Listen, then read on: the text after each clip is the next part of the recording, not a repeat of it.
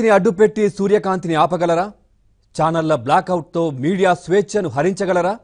ఈ దిశగా వరుస వైఫల్యాల తర్వాత కూడా పాలకపక్షాలు చేసిన తప్పే మళ్ళీ మళ్ళీ చేస్తున్నాయా? రెండు అడుగులు ముందుకేసి నాలుగు అడుగులు వెనక్కి వేయాల్సి వచ్చినా వారి వైఖరి మారడం లేదా? న్యాయస్థానాలు మొట్టికాయలు వేసినా వారికి నొప్పి తెలియడం లేదా?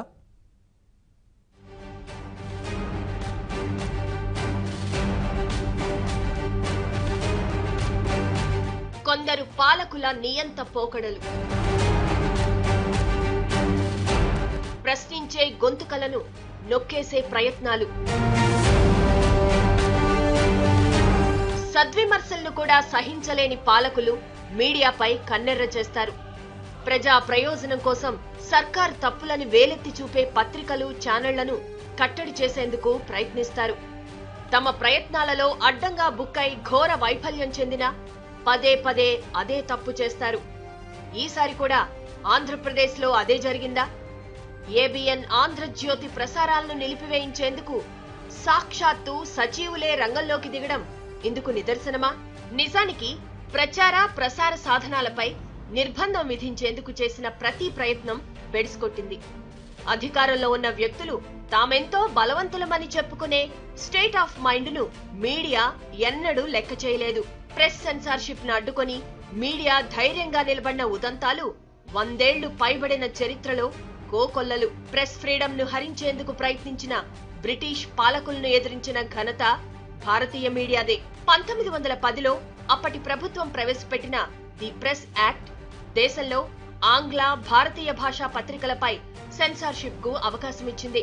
ముంబై బెంగాల్లో పత్రికలు జాతీయవాదాన్ని పెంచి పోషిస్తున్నాయని వాటి కారణంగానే స్వాతంత్రోద్యమం పరిడవిల్లుతోందని నమ్మిన బ్రిటిష్ ప్రభుత్వం ది ప్రెస్ యాక్ట్ను ప్రవేశపెట్టింది.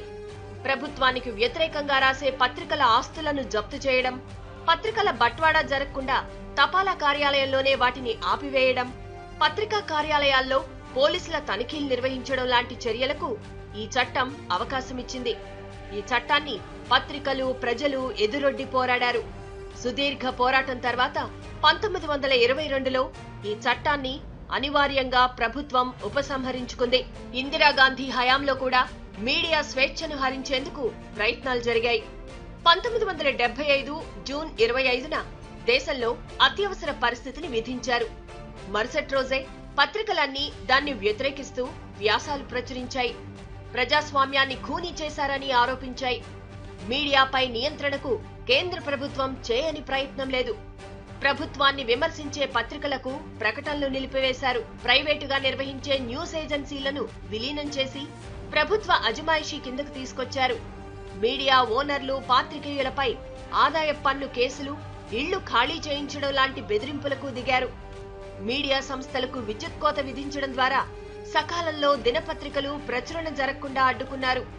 ఏడుగురు విదేశీ పాత్రికేయులను నిషేధించడంతో పాటు ఇరవై తొమ్మిది మంది ఫారిన్ జర్నలిస్టులు దేశంలోకి అడుగు పెట్టకుండా ఆదేశించారు. యాభై నాలుగు మంది పాత్రికేయుల అక్రిడేషన్స్ను రద్దు చేసింది. ఎమర్జెన్సీ కాలంలో రెండు వందల యాభై మంది పాత్రికేయులను అరెస్ట్ చేశారు. అయినా మీడియా మెడలు వంచడం ఇందిర ప్రభుత్వానికి సాధ్యపడలేదు. ప్రజల పక్షాన నిలిచిన పత్రికలు నాడు ఎమర్జెన్సీ ఎత్తేసే వరకు పోరాటం కొనసాగిస్తూనే ఉన్నాయి.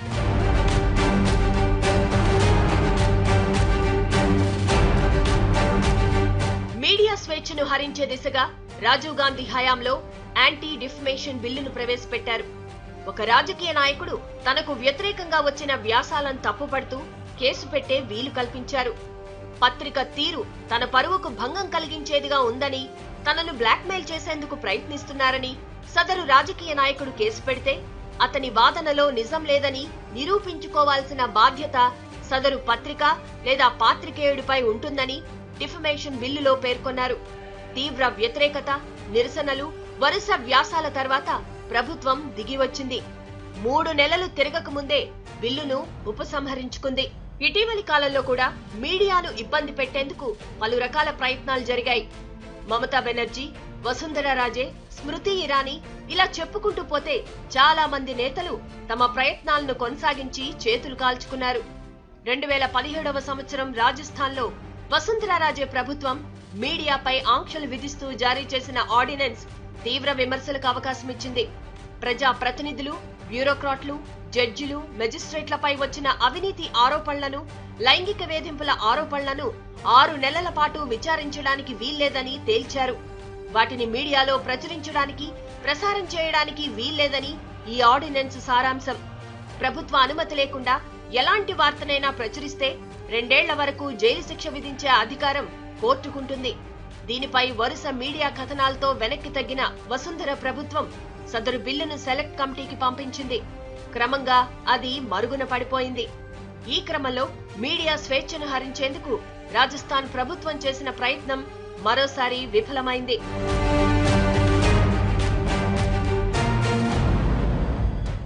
మోదీ గుజరాత్ సీఎంగా ఉన్నప్పుడు కూడా కొన్ని ఎలక్ట్రానిక్ మీడియా సంస్థలపై అప్రకటిత నిషేధం ఉండేదని చెప్పుకునేవారు.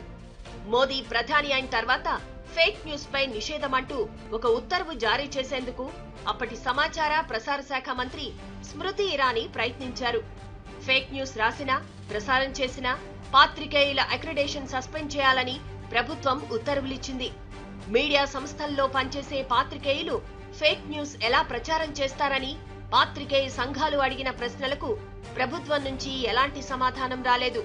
సోషల్ మీడియాపై విధించాల్సిన ఆంక్షలు మెయిన్ స్ట్రీమ్ మీడియాపై విధిస్తున్నారని పాత్రికేయులు ఆందోళన చెందారు. మీడియా సంస్థలు ఆధారాలు లేని వార్తలు ప్రచురించిన దాఖలాలు లేవని కూడా పాత్రికేయులు గుర్తు చేశారు.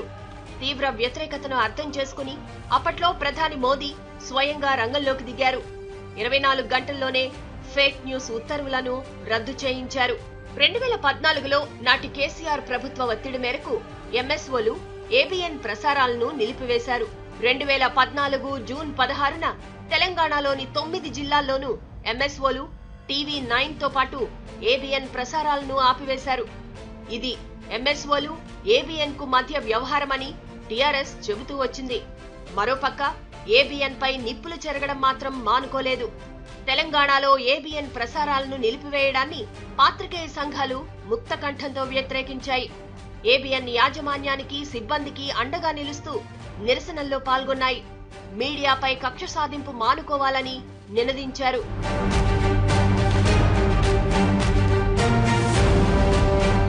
తెలంగాణలో ప్రసారాల నిలిపివేతను సవాల్ చేస్తూ ఏబిఎన్ దాఖలు చేసిన రెండు పిటిషన్లను సుప్రీంకోర్టు అప్పట్లో విచారణకు అంగీకరించింది.